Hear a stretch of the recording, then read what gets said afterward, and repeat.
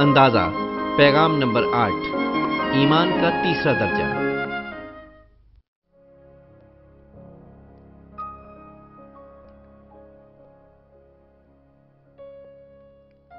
Romeo بارہ باب تین آیت۔ میں اس توفیق کی وجہ سے جو مجھ کو ملی ہے تم میں سے ہر ایک سے کہتا ہوں کہ جیسا سمجھنا چاہیے اس سے زیادہ کوئی اپنے آپ کو نہ سمجھے۔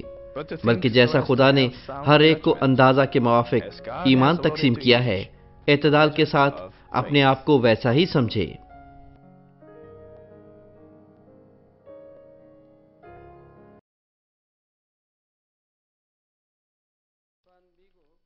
مسیح میں عزیز بھائی اور بہنوں، کوریا اور پوری دنیا کی چار ہزار چار سو شاخوں کے ممبران بشمول متحدہ ریاست ہے امریکہ، England Canada, Honduras, Peru, Bolivia, Argentine, Germany, France, روس، بیلجیم، نیدرلینڈز اور افریقی ممالک بشمول کینیا، یوگینڈا، کانگو برونڈی اور روانڈا اور چین، Japan, Pakistan, Indonesia, Philippines, Taiwan, India, Mongolia, مصر، اسرائیل اور مقامی عبادت خانوں کے ممبران جو پوری دنیا میں انٹرنیٹ اور ٹیلی ویژن کی خدمات ملاحظہ کرتے ہیں۔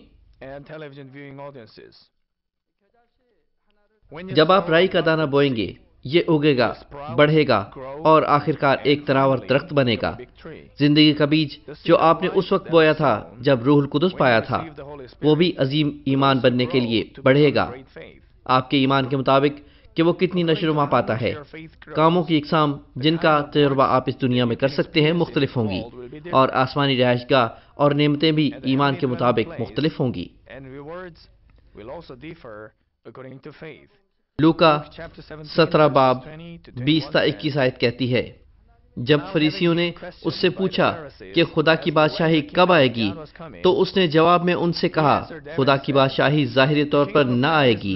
اور لوگ یہ نہ کہیں گے کہ دیکھو یہاں ہے یا وہاں ہے، کیونکہ دیکھو خدا کی بادشاہی تمہارے درمیان ہے۔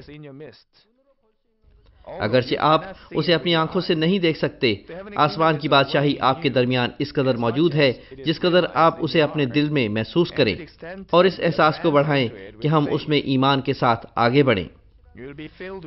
لیکن اگر بیج بویا جانے کے لمبے عرصے بعد بھی نہ اگے، آخر بیج میں سے زندگی غائب ہو جائے گی اور بیج سڑ جائے گا۔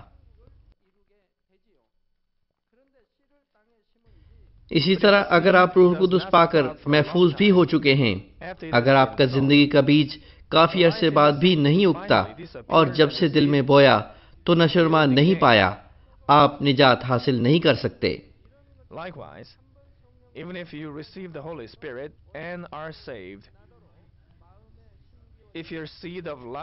دشمن ابلیس اور شیطان آپ کو دنیاوی سوچیں دیں گے اور شکوک پیدا کریں گے۔ تاکہ تھوڑا بہت ایمان بھی لے لیں۔ جس کے وسیلہ آپ نجات پا سکتے ہیں۔ میں امید کرتا ہوں کہ آپ خدا کا دیا ہوا قیمتی بیج کسی طرح ضائع نہیں ہونے دیں گے۔ میں خداون کے نام میں دعا کرتا ہوں کہ آپ اس کی آپاشی کریں اور اس کا دھیان رکھیں۔ جس طرح کھیت میں بیج بونے کے بعد اس کی آپاشی اور حفاظت کی جاتی ہے، تاکہ آپ کا ایمان ایک تناور درخت کے قد تک بڑھ سکے۔ مسیح میں عزیز بھائی اور بہنوں ایمان کا درجہ اول وہ ہے جہاں آپ نے روح القدس پایا اور محفوظ ہوئے۔ ایمان کا درجہ دوم وہ ہے جہاں آپ خدا کا کلام سنتے ہیں اور اس کے مطابق زندگی بسر کرنے کی کوشش کرتے ہیں۔ آپ نے خدا کا کلام سیکھا اور اسے جانتے ہیں۔ آپ سچائی جانتے ہیں۔ اگر آپ اس پر عمل کرنے کی کوشش کے درجہ پر ہیں جسے آپ جانتے ہیں تو اس کا مطلب ہے کہ آپ ایمان کے درجہ دوم پر ہیں۔ درجہ دوم میں وہ کلام کو جانتے اور یہ سیکھتے ہیں کہ انہیں اس پر عمل کرنا چاہیے، تاکہ وہ اس پر عمل کرنے کی خاطر خواہ کوشش کریں۔ وہ ایک وقت کلام پر عمل کرتے ہیں، لیکن دوسرے وقت اس کی خلاف ورزی کرتے ہیں اور جسم کے کام کرتے ہیں۔ لیکن جو ہی وہ گریں گے مگر دوبارہ اٹھ کھڑے ہوں گے اور چلنے پھرنے لگیں گے۔ اگر وہ کلام پر عمل کرنے کی کوشش جاری رکھے تو ان کا ایمان بڑھتا ہے۔ جب ان کے ایمان کا قد بڑھتا ہے تو وہ زیادہ سے زیادہ کلام پر عمل کرنے کے قابل ہوتے ہیں۔ اس طرح جب وہ اس درجے پر پہنچتے ہیں جہاں وہ جھٹ پٹ کلام پر عمل کر سکتے ہیں، یہ ایمان کا درجہ سوم ہے۔ کوئی بات نہیں آپ کتنا کلام جانتے ہیں۔ اگر آپ اس پر عمل نہیں کرتے، تو آپ کا ایمان بڑھ نہیں سکتا۔ اگر آپ اسے عمل میں لانے کی کوشش کرتے ہیں، آپ اس پر عمل کرنے کے قابل ہو جائیں گے۔ ہم کہتے ہیں، ہزار چیزیں ایسی ہیں جو کرنے یا نہ کرنے، انہیں سنبھال رکھنے یا پھینک دینے کی بابت خدا ہمیں بتاتا ہے۔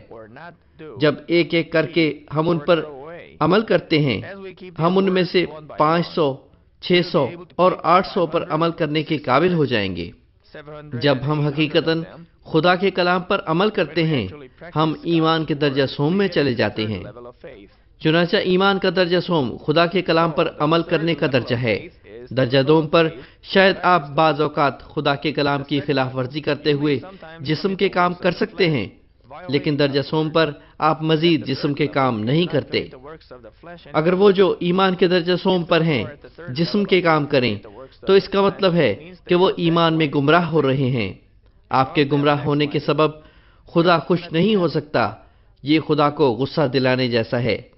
ایمان کے درجہ اول پر جب وہ گناہ کرتے ہیں، اگر وہ توبہ کریں اور واپس آ جائیں، تو خدا کے خلاف گناہ کی دیوار نہیں بنائیں گے۔ لیکن ایمان کے درجہ سوم پر اگر وہ جسم کے کام کریں گے جو صرف درجہ اول اور دوم والے کرتے ہیں، وہ گناہ کی ایک دیوار بنا رہے ہیں۔ کیوں؟ یہ اس لیے کہ وہ خواہشتاً یہ جانتے ہوئے گناہ کرتے ہیں کہ یہ گناہ ہے۔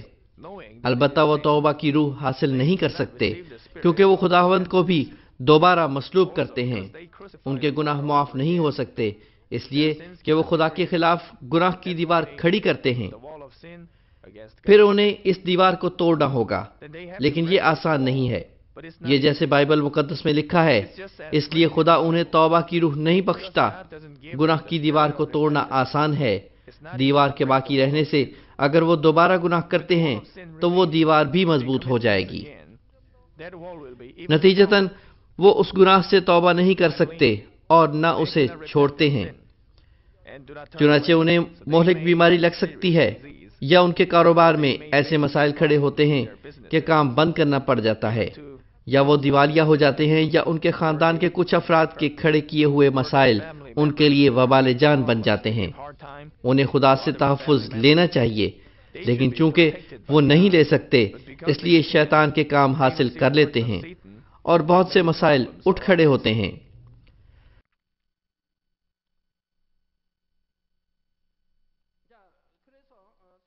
درجہ سوم پر آپ کسی دباؤ یا زبردستی سے کلام پر عمل نہیں کرتے، بلکہ رضا کرانہ طور پر اسے عمل میں لاتے ہیں، کیونکہ آپ خدا کی مرضی کو سمجھ چکے ہوتے ہیں۔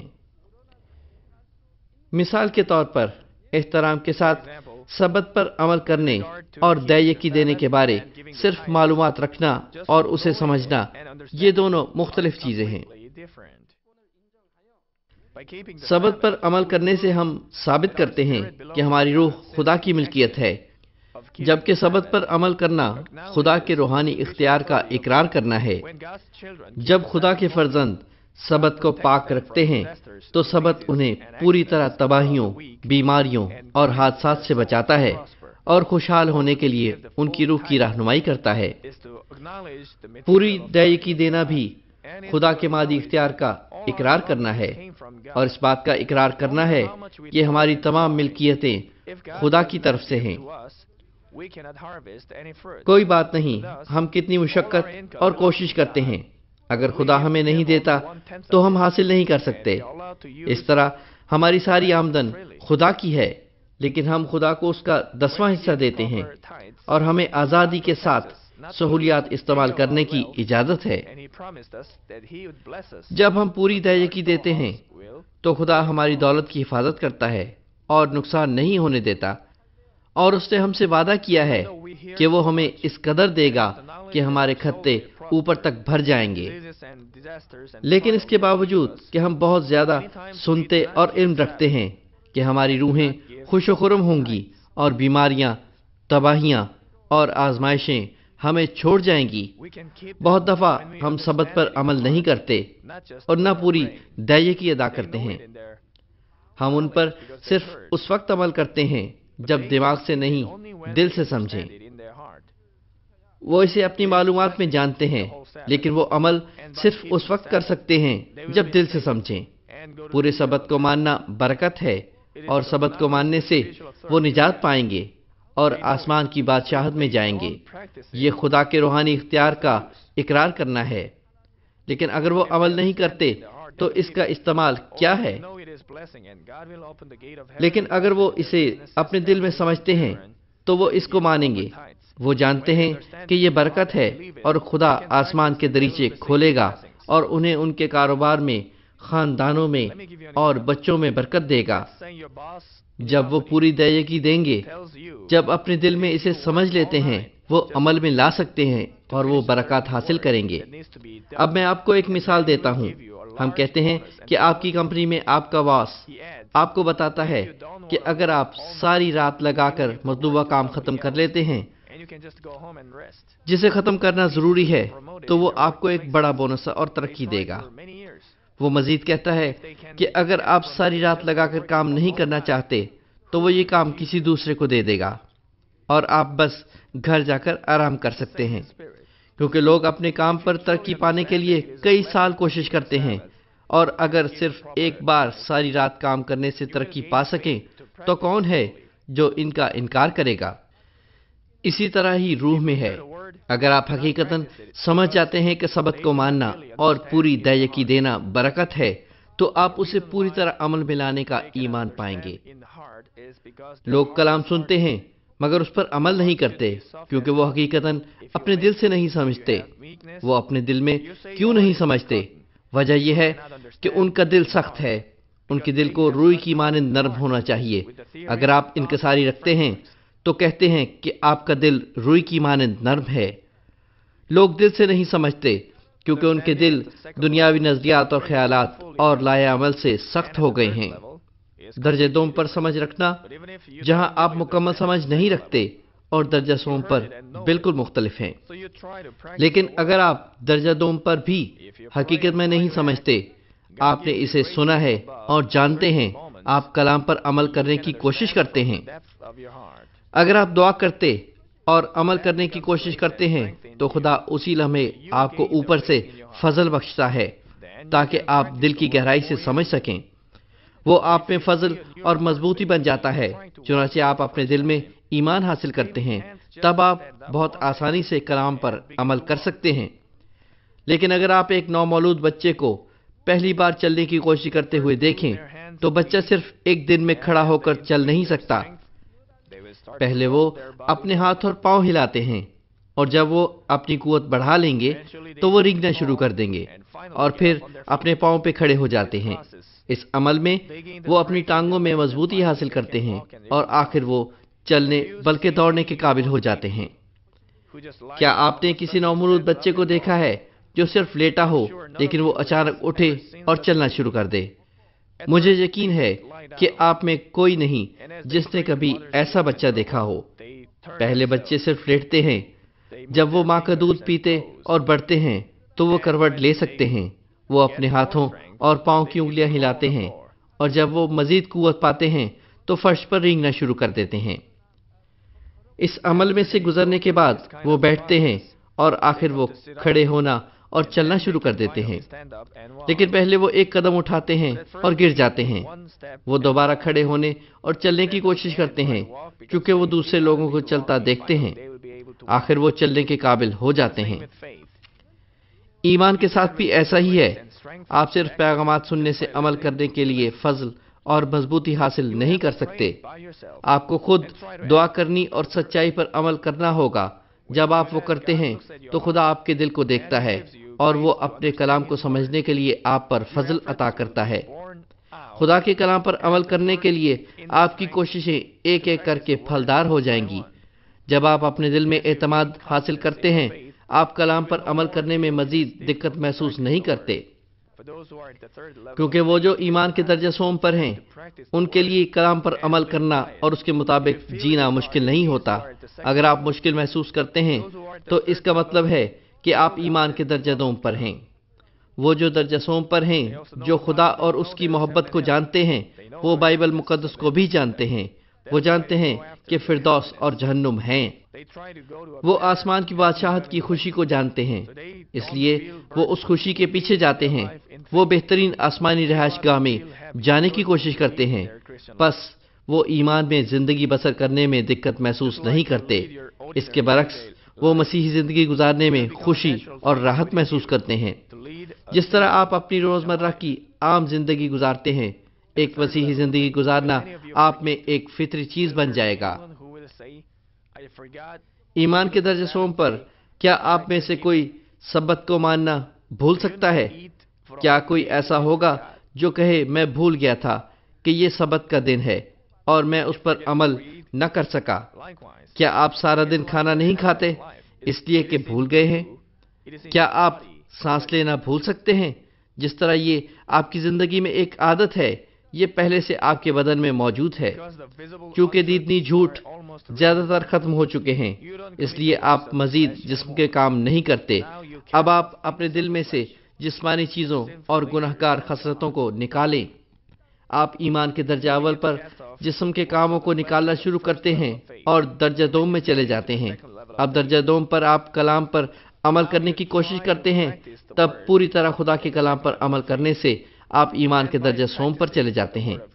اب اگر وہ جو درجہ سوم پر ہیں، وہ درجہ اول والوں کی طرح جسمانی کام کریں گے، تو یہ خدا کو غصہ دلانا اور مایوس کرنا ہوگا۔ اس لیے اب گناہ کی ایک دیوار تخلیق ہو جاتی ہے۔ ایک آدمی جو درجہ سوم پر ہے، اسے ہرگز وہ کام نہیں کرنے چاہیے جو درجہ اول والے کریں گے۔ اگر وہ اس طرح کا کچھ کرتا ہے، تو اس پر خدا کا عذاب نازل ہوگا۔ چنانچہ شاید ایک یا دو سال بعد اسے معلوم ہوتا کہ اس کے اندر ایک بیماری پل رہی تھی یا اس کا کاروبار نقصان میں جا سکتا ہے۔ شاید اس کے خاندان کے افراد بھی ابلیس کی جانب سے ستائے جانے پر مسائل کا شکار ہو جائیں۔ وہ ان کی مدد نہیں کر سکتا کیونکہ خدا انہیں تحفظ فراہم نہیں کرتا۔ جب تک آپ کے دل میں پوری طرح کلام کا احساس نہ ہو جائے اور بدی کی جڑیں پوری طرح نہ کھینچ لی جائیں۔ آپ کو ایمان کے ساتھ اچھی کشتی لڑنا ہوتی ہے۔ مسیح میں عزیز بھائیوں اور بہنوں، میں نے کہا کہ جب کلام کے مطابق رہنے کی کوشش کریں تو آپ سمجھداری حاصل کریں گے اور جب آپ سمجھ جائیں گے تو کلام پر آسانی سے عمل کریں گے۔ میں اسے ایک مثال کے ساتھ واضح کروں گا۔ پہلا تسنیکیوں، پانچ باب، سولہ تا اٹھارہ آیت کہتی ہے، ہر وقت خوش رہو، بلا ناغا دعا کرو، ہر ایک بات میں شکر گزاری کرو، کیونکہ یسو مسیح میں تمہاری بابت خدا کی یہی مرضی ہے۔ جب میں ان ارکان کو دیکھتا ہوں جو موروسی ایمان میں پلے بڑھے اور خادم بنے ہیں، میں دیکھتا ہوں کہ ان کے چہرے خوشی اور شکر گزاری سے بھرے ہیں، وہ روحانی نور رکھتے ہیں، اگرچہ وہ میک اپ نہیں کرتے ان کے چہرے کی جھریاں غائب ہیں۔ ان کے چہرے زیادہ خوبصورت ہو گئے ہیں۔ یہ اس وقت ہوگا اگر خدا کا کلام ان میں ہمیشہ سکونت کرے گا۔ جب تک وہ ہمیشہ جد و جہد کریں، تمام جسمانی کاموں کو نکالنے کے بعد بھی انہیں ضرور اپنے اندر سے گناہ کار خسرت کے خلاف جد و جہد جاری رکھنی ہے۔ اور کیونکہ وہ پوری طرح سچائی سے عمل نہیں کر سکتے، ان کے چہرے حقیقتا نہیں چمک سکتے۔ بس ایک بار وہ ان تمام چیزوں پر قابو پا لیتے ہیں اور نور کے فرزند بن جاتے ہیں جو خدا کے سچے بیٹے اور بیٹیاں سمجھے جا سکتے ہیں۔ یہ تب ہوتا ہے جب وہ روح کی سطح میں ایمان کے درجہ چہارم پر جاتے ہیں۔ کلام ان کا ہو جاتا ہے، تب وہ ہمیشہ خوش رہیں گے۔ جب بھی وہ آزمائشوں اور امتحانات کا سامنا کریں گے، وہ ہمیشہ خوش رہیں گے۔ وہ پریشان بھی نہیں ہوں گے۔ ہر وقت ہر چیز میں خدا کی نگرانی ہوگی۔ تاکہ وہ دائیں بائیں نہ مڑے، وہ بالکل شیطان سے نہیں آزمائے جاتے۔ وہ صرف شکر گزاری سے بھرے ہوتے ہیں۔ درجہ سوم اور چہارم اسی طرح مختلف ہیں۔ درجہ سوم پر آپ کلام کو جانتے ہیں، تاکہ آپ ہمیشہ خوش رہیں، شکر گزاری کریں اور بلا ناغا دعا کریں۔ لیکن ابھی آپ کسی وقت خوشی اور شکر گزاری بھول جاتے ہیں۔ یہ کیوں ہوتا ہے؟ اس لیے کہ ابھی تک آپ اپنے دل میں جد و جہد رکھتے ہیں۔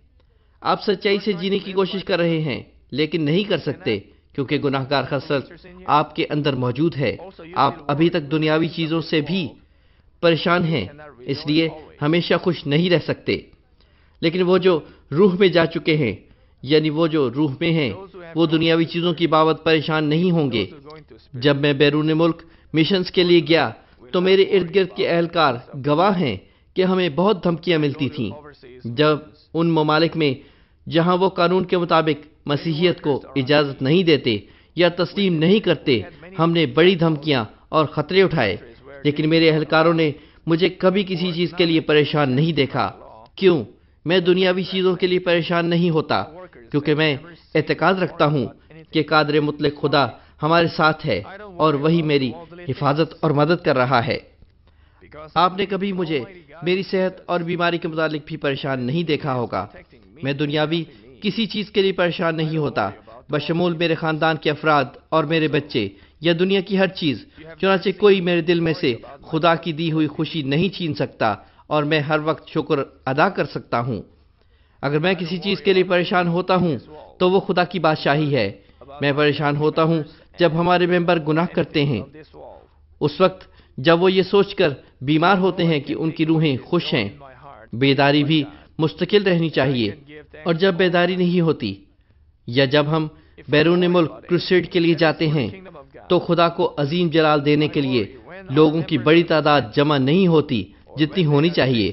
اور جب ہماری توقع کے مطابق لوگوں کا ہجوم نہیں ہوتا تو میں ان چیزوں کے لیے پریشان ہوتا ہوں کیونکہ میں خداوند کے سامنے شرمندگی محسوس کرتا ہوں۔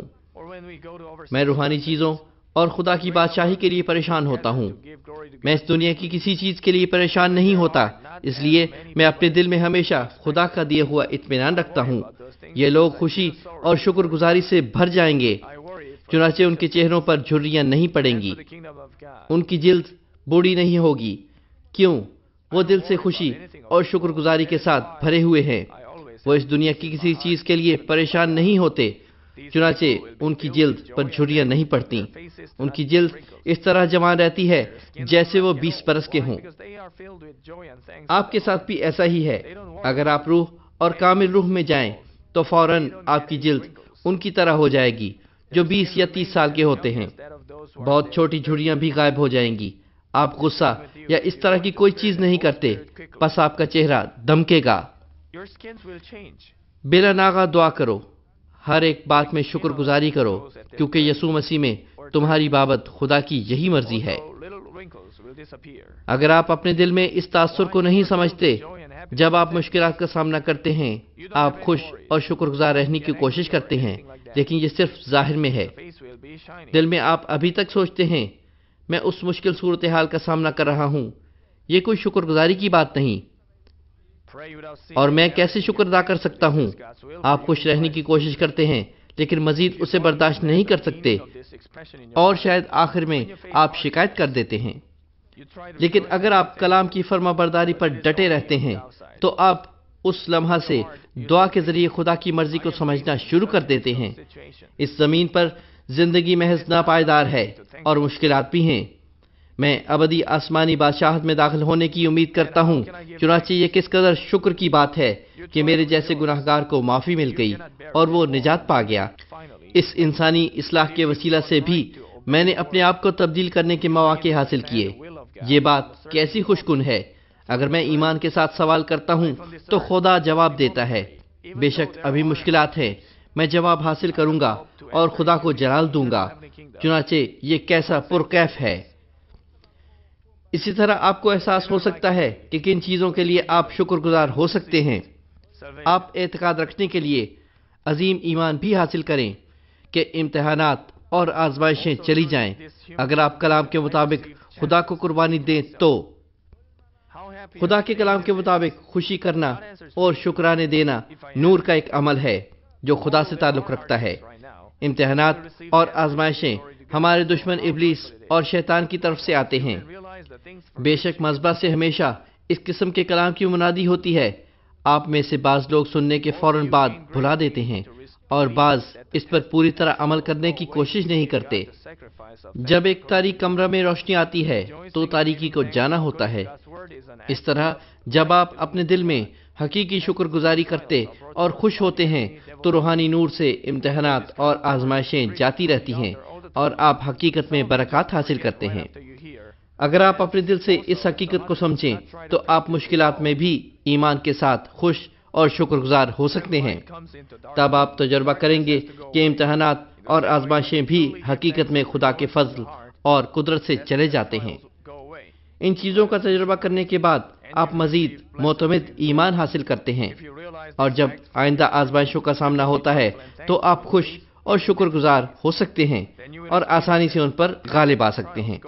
حتیٰ کہ جب آپ کے سامنے مشکل ترین حالات کی اصلیت ظاہر ہو، اگر آپ اپنے دل میں خدا کے کلام کے معنی کو سمجھ لیں، تو آپ ایمان کے ساتھ برکات کی طرف دیکھ سکتے ہیں اور کلام کے مطابق عمل کر سکتے ہیں۔ مسیح میں عزیز بھائی اور بہنوں، لیکن بے شک آپ ظاہراً کلام پر عمل کریں، تو ضروری نہیں کہ اس کے معنی یہ ہیں کہ آپ ایمان کے درجہ سوم پر ہیں۔ مثال کے طور پر، اگر آپ کوئی بھی اتوار کی عبادت نہیں چھوڑتے، تو آپ کی ایمان کا درجہ اس کے مطابق مختلف ہوگا کہ آپ خدا کی پرستش کیسے کرتے ہیں۔ ان میں سے بعض ایلڈر اور سینئر ڈیکن ہوتے ہیں۔ تو اس سے یہ مراد نہیں کہ وہ سب ایمان کے درجہ سوم پر ہوں گے۔ بعض ایلڈر اور سینئر ڈیکن ابھی تک درجہ دوم پر ہی ہوتے ہیں اور بعض تو درجہ اول پر ہوتے ہیں۔ یہ کیسی قابل رحم بات ہے؟ یہ اس کے مطابق مختلف ہے کہ آپ حقیقت مضبوط ایمان کے ساتھ خدا کی عبادت کرتے ہیں یا نہیں، یا آپ دوسرے لوگوں سے باخبر ہیں یا بدقسمتی کا سامنا کرنے سے ڈرتے ہیں۔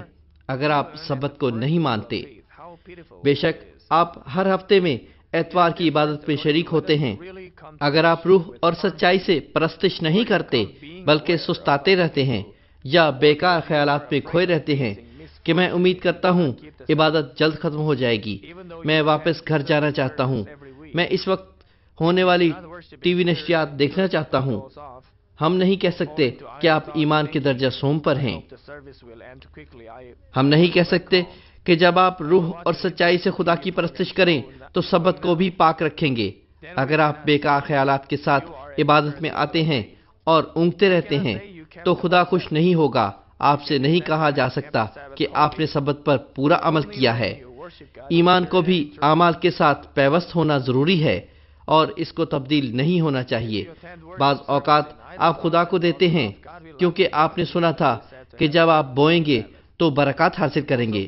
لیکن کیونکہ آپ نے فوراً اپنی آنکھوں سے بہت سی برکات نہیں دیکھی آپ خدا کے سامنے افسوس کے ساتھ بوتے ہیں۔ یا اپنی پرانی زندگی کی طرف لوٹ جاتے ہیں۔ ہم نہیں کہہ سکتے کہ یہ لوگ ایمان کے ساتھ عمل کرنے کے قابل ہونے کے لیے اپنے دلوں میں فہم کے درجہ پر پہنچے ہیں۔ اس لیے ہم ظاہری طور پر نظر آنے والی ایک یا دو چیزوں سے کسی کے ایمان کا اندازہ نہیں کر سکتے۔ ظاہری اعمال صرف ایمان کے درجہ اول کے لیے ہوتے ہیں۔ عمل کی اہم چیز اس کا دل کی گہرائی سے آنا ہے۔ صرف خدا جانتا ہے کہ یہ عمل دل کی گہرائی سے آ رہا ہے۔ آپ بھی اپنے متعلق جانتے ہوں گے۔ ہم تو اس بات سے امتیاز کر سکتے ہیں کہ کوئی شخص خدا کی مرضی کو کتنا سمجھتا ہے اور اپنے دل سے اس پر عمل کرتا ہے۔ مسیح میں عزیز بھائی اور بہنوں، جب آپ ایمان کے درجہ سوم پر جاتے اور خدا کے کلام پر عمل کرتے ہیں، تو پہلے آپ کے دل میں کچھ تنازعات ہوتے ہیں۔ آپ خدا کی مرضی کو سمجھیں اور اس کی فرما برداری کریں، لیکن کیونکہ آپ کے دل میں ابھی تک گناہ کار خسرتیں ہیں، ابھی آپ تنازعات رکھتے ہیں۔ آپ جسم کے کام نہیں کرتے، لیکن چونکہ ابھی آپ نے اپنے دل میں سے گناہ کار خرستوں کو نہیں نکالا یعنی ابھی تک آپ نے جسم اور جسمانی خیالات کو نہیں کھینچ نکالا، آپ ان جسمانی چیزوں اور جسمانی خیالات کے خلاف جد و جہد کرتے ہیں۔ آپ اس لیے تنازع محسوس کرتے ہیں کیونکہ جد و جہد کرنی ہے۔ بے شک یہ تنازع اس قسم کا نہیں جو آپ ایمان کے درجے دوم پر یہ سوچتے ہوئے رکھتے ہیں کہ میں سچائی سے عمل کروں گا یا نہیں۔ آپ سچائی سے عمل کرتے ہیں لیکن ابھی روحانی سوچیں جو نیک دل کا پیچھا کرنے کی کوشش کرتی ہیں اور جسمانی سوچیں جو خواہشات کا پیچھا کرنے کی کوشش کرتی ہیں وہ ایک دوسرے کے خلاف جد و جہد کرتی ہیں۔ جیسے پہلے وضاحت کی گئی ہے، جب آپ ایمان کے درجے دوم پر مشکلات میں مبتلا ہوں، آپ خوش ہونے اور شکر گزاری کرنے کی کوشش کریں۔ لیکن بعض اوقات آپ حالات پر غالب آنے کے قابل نہ ہوتے ہوئے شکایات کرتے ہیں۔ لیکن ایمان کے درجہ سوم پر آپ مشکلات میں بھی خوشی اور شکر گزاری کر سکتے ہیں۔ لیکن اسی طرح درجہ سوم پر آپ سو فیصد کامل خوشی اور شکر گزاری نہیں کر سکتے۔ اگر آپ درجہ سوم کی ابتدا میں ہیں، اگر آپ کچھ مشکلات کا سامنا کرتے ہیں، تو آپ جسمانی خیالات رکھتے ہیں۔ مثلا، یہ بہت مشکل ہے۔ تب شاید آپ مایوس ہو جائیں اور آپ کی معمولی بھی غائب ہو جائے۔ لیکن آپ فوراً روح القدس کی آواز سنیں گے اور اپنے دل کو سچائی کے خیالات کے ساتھ قابو کر لیں گے۔ نہیں، مجھے خوش ہونا اور شکر ادا کرنا ہے۔ خدا زندہ ہے اور مجھے کیوں مایوس ہونا چاہیے؟ اگر آپ بھی زیادہ تکمیل کے لیے دعا میں چلائیں اور خدا کا فضل اور مضبوطی پائیں، تو آپ مزید شکر گزاری اور خوشی سے بھر جائیں گے۔ تب درجہ سوم کے وسط کو عبور کرتے اور اوپری درجہ پر جاتے ہیں، تو آپ بہت زیادہ جسمانی خیالات نہیں رکھتے۔ جیسے رومیو، آٹھ باب میں کہا گیا ہے۔ ہمیں جسمانی خیالات کو نکالنا ہے۔ یہ خدا کے سامنے مکروح ہے اور خدا کو خوش نہیں کر سکتا۔ صرف جسمانی خیال کو ختم کرنے کے بعد آپ شیطان کے کام حاصل نہیں کریں گے۔ اگر آپ درجہ سوم کے نصف یا اس کے بعد والے درجے پر جاتے ہیں، تو آپ زیادہ جسمانی خیالات نہیں رکھتے۔ وہ اس لیے کہ آپ کا دل اس قدر روح میں تبدیل ہو چکا ہے۔ حتیٰ کہ اگر آپ کو اچانک مشکل صورتحال درپیش ہو جائے، آپ مایوسی اور شکایت کے خیالات کے بجائے خوشی اور شکر گزاری کے خیالات رکھیں گے۔ حتیٰ کہ آپ سوچیں گے کہ یہ وقتی مشکل ہے، آپ اس سوچ کو فل فور چلتا کر دیں گے اور جلد اپنے دل کو شکر گزار اور خوش بنا لیں گے۔ متی سات باب چوبیس تا پچیس آیت کہتی ہے، پس جو کوئی میری یہ باتیں سنتا اور ان پر عمل کرتا ہے وہ اس عقل مند آدمی کی مانند ٹھہرے گا جس نے چٹان پر اپنا گھر بنایا اور می برسا اور پانی چڑھا اور آندیاں چلی اور اس گھر پر ٹکریں لگیں، لیکن وہ نہ گرا کیونکہ اس کی بنیاد چٹان پر ڈالی گئی تھی۔ پہلا کرنتھیوں دس باب چار آیت کا دوسرا حصہ کہتا ہے، اور وہ چٹان مسیح تھا۔ اگر آپ خدا کے کلام کے مطابق عمل کرنے کے لیے کامل ایمان رکھتے اور امتحانات اور آزمائشوں میں ڈولنے والے نہیں ہیں، تو ہم کہہ سکتے ہیں کہ آپ یقیناً یسوع مسیح کی چٹان پر کھڑے ہیں۔ اگر آپ درجہ سوم کے ساٹھ فیصد سے اوپر چلے جائیں، تو آئندہ آپ کلام پر عمل کرنے کو مشکل یا بوجھ محسوس نہیں کریں گے۔ اس لیے اس درجے پر ہم کہہ سکتے ہیں کہ آپ نے ایمان کی چٹان پر کھڑے ہونے کا آغاز کر دیا ہے۔ اگر آپ ستر فیصد پر چلے جاتے ہیں، تو آپ یقینی طور پر ایمان کی چٹان پر کھڑے ہو جاتے ہیں اور اس درجے پر آپ ایک پکی عادت کی طرح کلام پر عمل کرتے ہیں۔ آپ کھانا نہیں بھولتے، کیا بھولتے ہیں؟ کیا آپ ناشتہ، دوپہر کا کھانا یا رات کا کھانا بھولتے ہیں؟ مجھے یقین ہے کہ آپ میں سے کوئی بھی کھانا نہیں بھولے گا۔ آپ ہر وقت کھانے کی تلاش میں رہتے ہیں۔ جب سے آپ پیدا ہوئے کبھی سانس لینا نہیں بھولے۔ سانس لیے بنا پکی بات ہے کہ آپ مر جائیں گے۔ دعا کا بھی یہی حال ہے۔ اگر آپ دعا نہیں کرتے تو آپ کی روح مر جاتی ہے۔ اسی لیے اسے فطرتن ہونا چاہیے۔ اسی لیے ہم بائبل مقدس میں دیکھتے ہیں کہ خداوند اکثر عادتاً زیتون کے پہاڑ پر دعا کرتا تھا۔ وہ عادتاً بلا ناغا گھٹنوں کے بل دعا کرتا تھا۔ اس لیے اگر آپ دعا کرنا روک دیتے ہیں، تو آپ کی روح مر جاتی ہے۔ جس طرح سانس لیے بغیر آپ کا بدن مر جائے گا۔ اگر آپ دعا کرنا روک دیں گے، تو آپ پر آزمائشیں آئیں گی اور آخر آپ شیطان کا شکار بن جائیں گے۔ چنانچہ آپ ایک بہترین پکی عادت کی طرح کلام پر عمل کریں۔ اس کے علاوہ، اگر آپ کسی بھی قسم کے حالات میں جسمانی خیالات کے بغیر فل فور خوشی اور شکر گزاری کرتے ہیں، تو آپ روحانی ایمان کے درجہ میں قدم رکھتے ہیں۔ یہ ایمان کا درجہ چہارم ہے۔ فرض کریں کہ آپ کا ایک ہم منصب غصے میں آپ کو تھپڑ مار دیتا ہے۔ تھپڑ آپ اپنے منہ پر کھاتے ہیں۔ تب آپ کا ذہن کیا کرتا ہے؟ یہ آپ کے ایمان کے درجہ کے مطابق مختلف ہوگا۔ ہمارا خداوند فرماتا ہے کہ اگر کوئی آپ کے ایک گال پر پارے تو دوسرا بھی اس کی طرف پھیر دو۔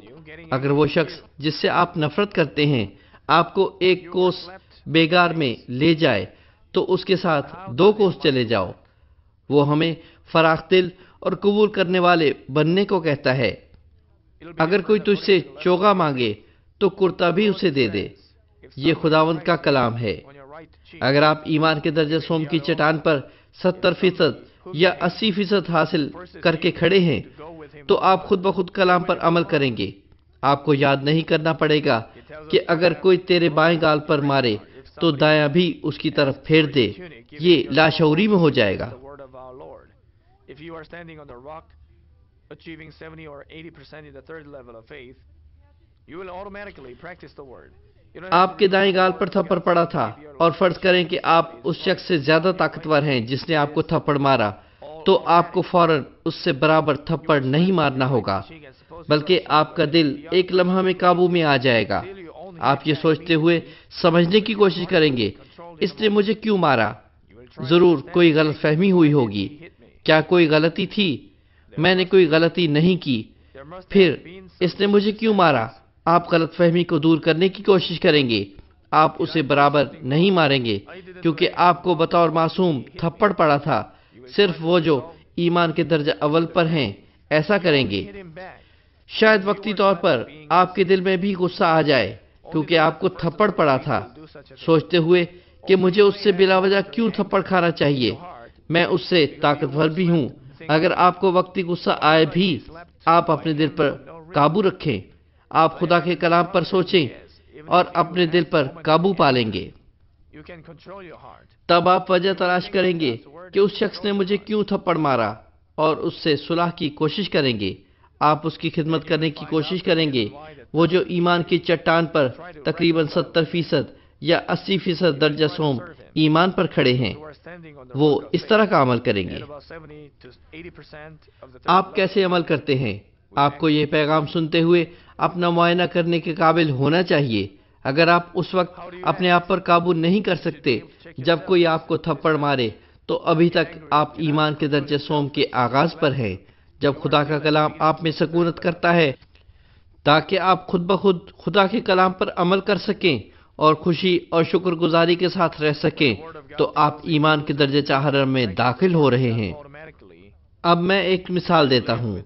ہم کہتے ہیں کہ آپ کا ایک ہم منصب آپ کے کام کی جگہ پر آپ کے ساتھ بڑی بے سے پیش آتا ہے۔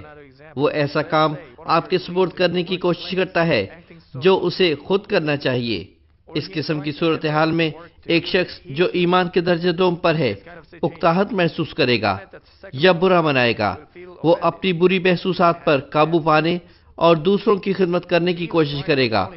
لیکن ابھی تک وہ اپنے دل میں شکایات رکھتا ہے۔ آپ سوچتے ہیں، یہ آدمی مغرور ہے، یہ خود کام کر سکتا ہے اور یہ اس کام کی ذمہ داری مجھ پر ڈالنے کی کوشش کر رہا ہے۔ کیا مجھے اس بے وقوف کو دیکھنا چاہیے اور آپ اپنے دل میں بے آرامی رکھتے ہیں۔ اور جب آپ مزید اس کے ساتھ رہنا برداشت نہیں کر سکتے، تو آپ کھل کر اس پر غصہ ہو سکتے ہیں۔ یہ اول اور دوم درجہ ہے۔ اگر آپ غصہ ہو جاتے ہیں، تو یہ ایمان کا درجہ اول ہے۔ اگر آپ غصہ ہوئے بغیر اسے اپنے اندر رکھ لیتے ہیں اور حقیقت میں اس شخص کو نہیں سمجھ سکتے، تو آپ ایمان کے درجہ دوم پر ہیں۔ لیکن درجہ سوم پر آپ اس طرح اطمینان نہیں توڑتے۔ آپ مثبت سوچ رکھنے کی کوشش کرتے ہیں۔ وہ بد اخلاق نہیں ہے۔ دراصل وہ خوش اخلاق ہونے کی کوشش کر رہا ہے۔ اس کے پاس ضرور کوئی وجہ ہوگی کہ وہ خود کام نہیں کر سکتا اور آپ اس کی خدمت کرتے ہیں جس طرح وہ چاہتا ہے۔ لیکن درجہ سوم کے ابتدائی مرحلہ پر کیونکہ آپ کے دل میں سچائی کی کاشت مکمل طور پر نہیں ہوئی شاید آپ ایک لمحہ کے لیے کمزور محسوسات رکھیں گے۔ لیکن اگر وہ بے آرام خیالات آپ کے ذہن میں آ بھی جائیں، تو آپ ان کا ذکر نہیں کرتے اور اپنے ذہن کو اچھائی میں سوچنے کی غرض سے اور اپنے دل کو اچھا رکھنے کے لیے تبدیل نہیں کرتے۔ لیکن اگر آپ درجہ سوم کی چٹان پر کھڑے ہیں، تو اگرچہ ایک لمحہ کے لیے آپ کے دل میں ناقابل شمار خیالات آ جائیں آپ اسے فوراً روحانی سوچ میں تبدیل نہیں کر سکتے اور آپ دوسرے شخص کی خدمت پرامن ذہن کے ساتھ کر سکتے ہیں۔ مذہبی پیشواؤں میں سینئر اور جونیئر بھی ہوتے ہیں۔ چنانچہ یہ ضروری ہے کہ جونیئر اپنے سینئرز کا احترام کریں۔ اور اگر جونیئر اپنے سینئر کی فرما برداری نہیں کرتے یا اگر وہ اپنے سینئر کے خلاف برے منصوبے باندھتے ہیں یا برے بیانات دیتے ہیں یا ان کے چہرے غصہ میں آ جاتے ہیں یا سرخ ہو جاتے ہیں یا اگر وہ خشک الفاظ بولتے ہیں یا غصہ دلانے والے تکلیف دہ الفاظ ادا کرتے ہیں، سخت لہجے میں بات کرتے ہیں، تو انہیں اپنے سینئر سے نہیں کہنا چاہیے۔ اس کا مطلب ہے کہ وہ ابھی تک ایمان کے درجہ اول پر ہیں۔ لیکن آپ دوسرے شخص کی خدمت پرامن ذہن کے ساتھ کر سکتے ہیں۔ اگر آپ کسی دوسرے کے ساتھ بوسیدہ ہو رہی گندم کی طرح ایک لمحہ کے لیے بے آرام سوچ کے بغیر خدمت کریں، تو اس کا مطلب ہے کہ آپ ایمان کے درجہ چہارم پر ہوتے ہوئے مرد روح ہیں۔ کیا مرد روح بننا آسان نہیں ہے؟ کیا مشکل ہے؟ ہمارا خداوند اور خدا کے تمام انبیاء اسی قسم کے دل رکھتے تھے۔ بے شک میں یہ نہیں کہہ رہا کہ وہ سارے کے سارے درجہ چہرم پر تھے۔ ہمارا خداوند اور سچے مردان خدا اس سے اوپر تھے۔ باقی سب درجہ پنجم پر تھے اور صرف ہمارا خداوند کامل تھا یہ معاملہ موسیٰ کے ساتھ تھا، دانیل کے ساتھ بھی ایسا ہی تھا، حتیٰ کہ جب وہ شیروں کی باندھ میں ڈالا جانے والا تھا، تو اس نے اپنے اختیار کے ساتھ ان کے خلاف لڑنے کی کوشش نہیں کی calm. وہ پرامن رہا اور شیروں کی ماند میں چلا گیا اس کے تین دوستوں کے ساتھ بھی ایسا ہی تھا، اگرچہ وہ سب کچھ کھونے کو تھے بشمول شہرت اور اختیار انہوں نے دنیا کے ساتھ سمجھوتا نہیں کیا۔ وہ سچائی پر قائم رہے اور دائیں بائیں نہیں جھکے۔ تمام مردان خدا اسی طرح کے تھے۔ کیونکہ مردان خدا ایمان کے درجہ چہارم پر گئے تھے، انہوں نے خدا کے کلام پر جوں کا توں عمل کیا اور نور میں رہے۔ وہ بدی کی کوئی قسم نہیں رکھتے۔ اس کی بابت کیا مشکل ہے؟ اگر آپ پانچ یا دس سال سے مسیحی ہیں تو دراصل یہ بہت آسان ہے۔ یہ اس لیے ہے کہ آپ اپنے خیالات و نظریات نہیں چھوڑتے، آپ خود اپنی زندگی بنانے کی کوشش کرتے ہیں، چنانچہ وہیں رکے رہتے ہیں۔ آپ روح میں تھوڑا سا بڑھتے ہیں، لیکن پھر آپ لمبے عرصے تک ایک ہی جگہ رکے رہتے ہیں۔ آپ کو اپنی خودی کو توڑنا چاہیے، چونکہ آپ نہیں توڑتے، اسی لیے اسی جگہ رکے رہتے ہیں۔ اب میں پیغام کا خلاصہ پیش کرتا ہوں۔ How pitiful this is. مسیح میں عزیز بھائی اور بہنوں، عبرانیوں، بارہ باب، چار آیت میں ایمانداروں سے یہ کہا جاتا ہے کہ تم نے لڑنے میں اب تک ایسا مقابلہ نہیں کیا جس میں خون بہا ہو۔ انہوں نے گناہوں کے خلاف لڑائی کی، لیکن خدا کی مرضی کیا ہے؟ یہ گناہوں کے خلاف خون بہانے کے نقطہ نظر سے لڑنا ہے۔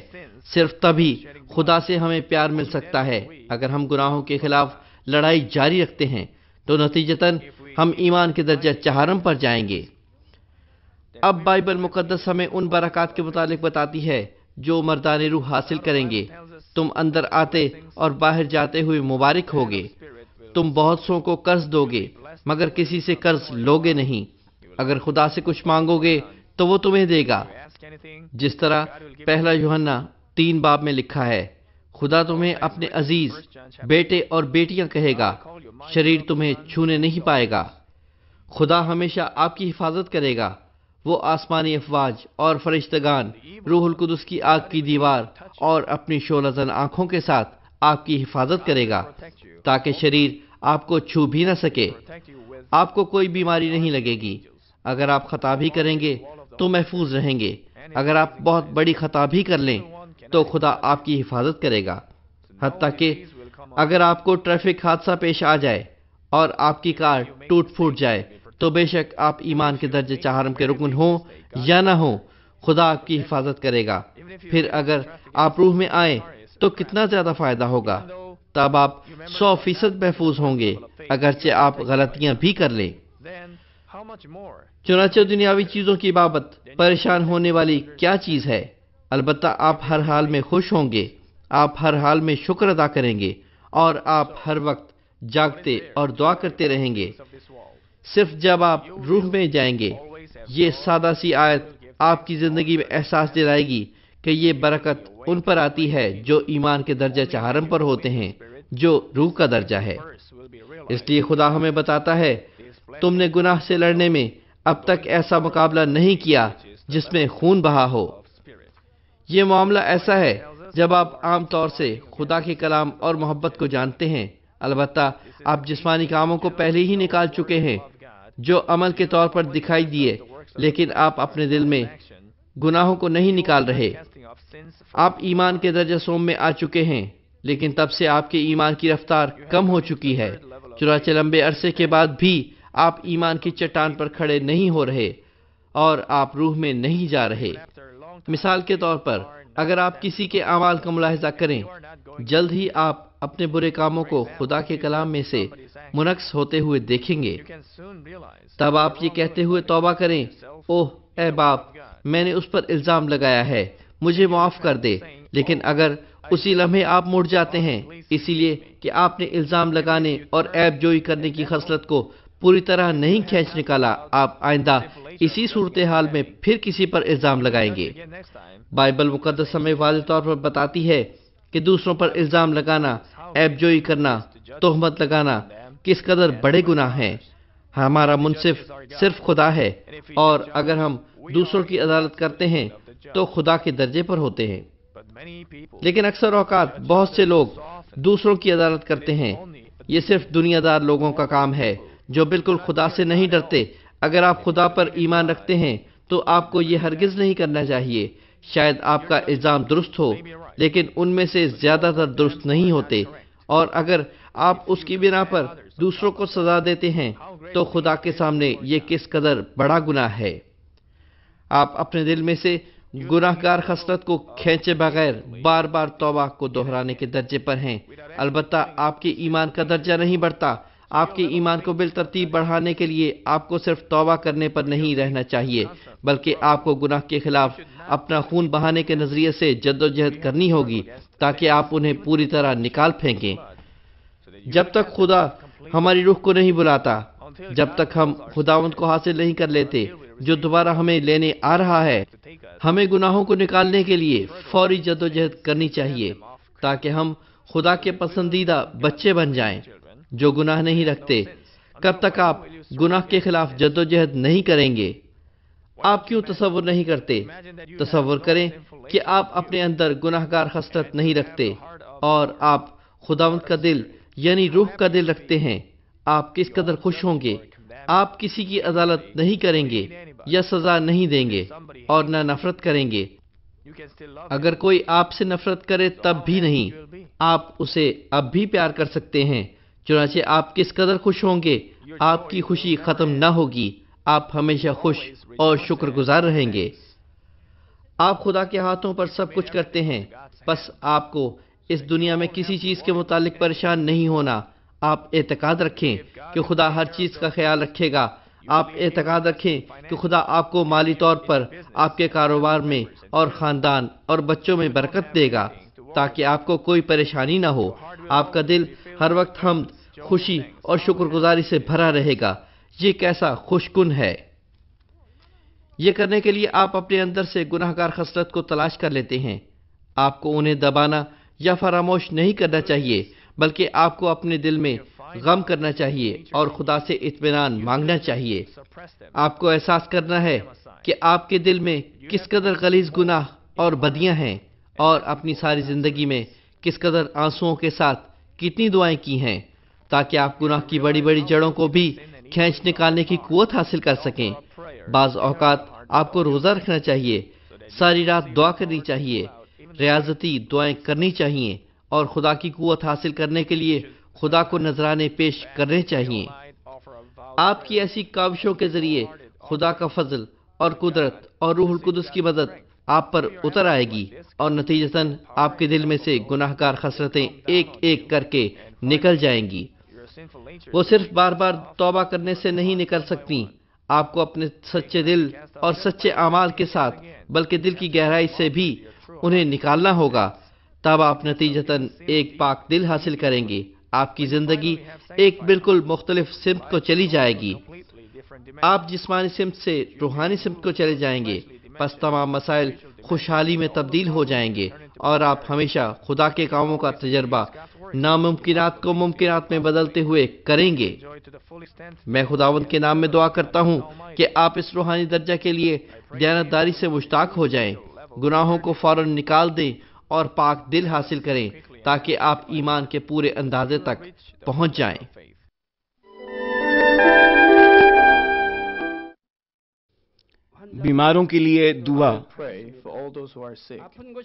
Place your hand on میں ان سب لوگوں کے لیے دعا کروں گا جو بیمار ہیں. آپ اپنے بدن کے اس حصہ پر اپنا ہاتھ رکھ لیں جہاں پر بیماری ہے اور اس دعا سے استفادہ کیجیے۔ اگر آپ بیمار نہیں ہیں لیکن اپنی دلی مرادیں پانا چاہتے ہیں تو اپنا ہاتھ اپنے سینے پر رکھ لیجیے۔ work خدا کا زندہ کلام وقت اور فاصلے کی قیود سے آزاد ہے۔ اور آپ کے ایمان کے مطابق آپ کے لیے کام کرے گا۔ آپ جہاں کہیں بھی ہوں، اگر ایمان کے ساتھ اس دعا کو قبول کریں گے، تو آپ خدا کی قدرت کے حیران کن کام دیکھیں گے۔ ہالیلویا۔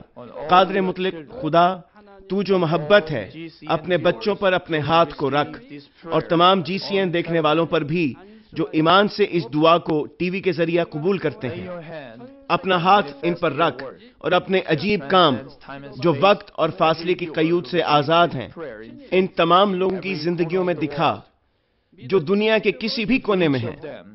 ان کو ایسا ایمان عطا فرما جس کے وسیلہ سے ان کے تمام شکوک و شبہات ختم ہو جائیں۔ ان کی زندگی سے تمام دکھ اور مشکلات جاتی رہیں۔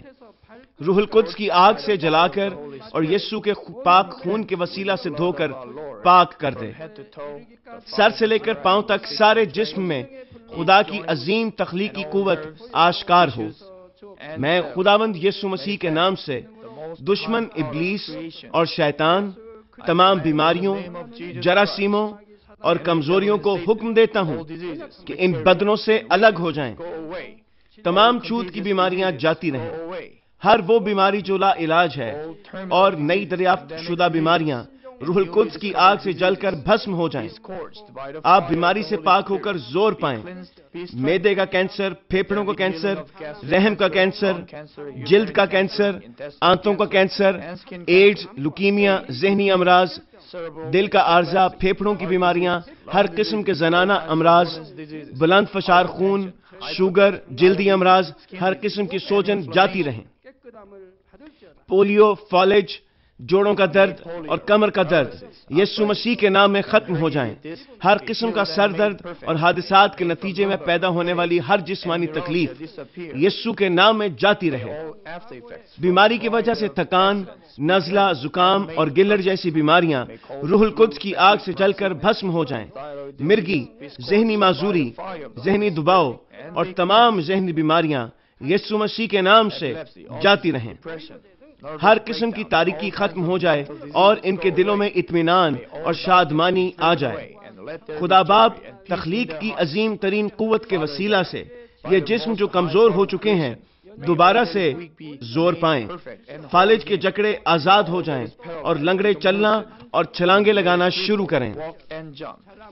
نظر کی کمزوری جاتی رہے، بہرے سننا شروع کر دیں۔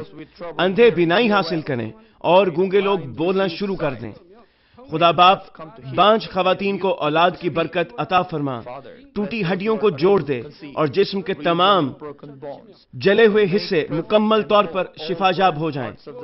نشہ کی لارت میں گرفتار لوگوں کو روح القدس کی آگ کے وسیلہ سے پاک اور صاف کر دے۔ جسم کے تمام مردہ خلیے زندہ ہو جائیں۔ تمام تاریکی جاتی رہے اور ابلیس کی قوتیں نکل جائیں۔ میں یسو مسیح کے نام سے حکم دیتا ہوں کہ دشمن ابلیس، شیطان اور ہوا کی عملداری کا حاکم اپنا قبضہ چھوڑ دیں اور ان کے تمام قاصد بھی یسو مسیح کے قادر نام میں نکل جائیں۔ تاریکی کی ناپاک، دھوکہ دینے والی اور گمراہ کر دینے والی قوتیں یسو کے نام میں دور ہو جائیں۔ بے ایمانی اور نا انصافی کی بدروہیں جاتی رہیں۔ تمام تاریکی جاتی رہے۔ تیرا نور چمکے۔ خدا باپ، ان کی روحوں کو بھی، ان کے جسم کے ساتھ مضبوط فرما۔ ان کو قوت دے کہ یہ تجھ کو پکار سکیں۔ ان کو قوت دے کہ یہ اپنے گناہوں کو ترک کر سکیں۔ ان کی جانیں اس دنیا میں راحت پائیں اور ان کی زندگیاں خوشحال ہوں۔ ان کی دعاؤں کو قبول فرما۔ اور ان کی دلی مرادوں کو پورا فرما۔ ان کی زندگیاں ایمان، امید اور محبت میں ترقی کرتی چلی جائیں۔ اور ان کے خاندان بھی تیری نجات کے پیغام کو سن کر قبول کریں اور نجات حاصل کریں۔ ان کے خاندانوں کو ہر قسم کے حادثات اور تباہیوں سے محفوظ رکھ اور ان کو برکت دے۔ کہ وہ ایک خوشحال زندگی بسر کریں۔ اے خدا، اپنے فرزندوں کو، گھروں اور کاروبار کی جگہ پر روح القدس کی آدشی باڑ میں محفوظ رکھنا اور تیری آنکھیں جو آگ کے شولہ کی مانند ہیں، ان کو دیکھتی رہیں۔ ان کا باہر جانا اور اندر آنا مبارک ہو۔ انہیں برکت دے تاکہ یہ لوگوں کو قرض دیں لیکن کسی سے کبھی قرض نہ لیں۔ انہیں حکمت اور عقل دے اور ان پر فضل کر کہ وہ روح القدس سے معمور ہو جائیں۔ خداوند اپنے خادموں کو وہ کام کرنے کی توفیق اور فضل عطا فرما جو تو نے انہیں سونپا ہے۔ ہر چرچ میں ایک انقلاب برپا کر دے۔ اپنے بچوں کی رہنمائی کر۔ تاکہ وہ تجھے جلال دیں، جو بھی کام وہ کریں۔ اپنے عجائب کا ظہور فرما تاکہ وہ اپنے لبوں سے تیری گواہی دیں کہ وہ تجھ سے ملے ہیں اور تو ان کی دعاؤں کو قبول کرتا ہے۔ خدا باپ، میں تیرا شکریہ ادا کرتا ہوں اور صرف تجھے ہی سارا جلال دیتا ہوں۔ میں خداوند یسو مسیح کے نام میں یہ دعا کرتا ہوں۔ آمین۔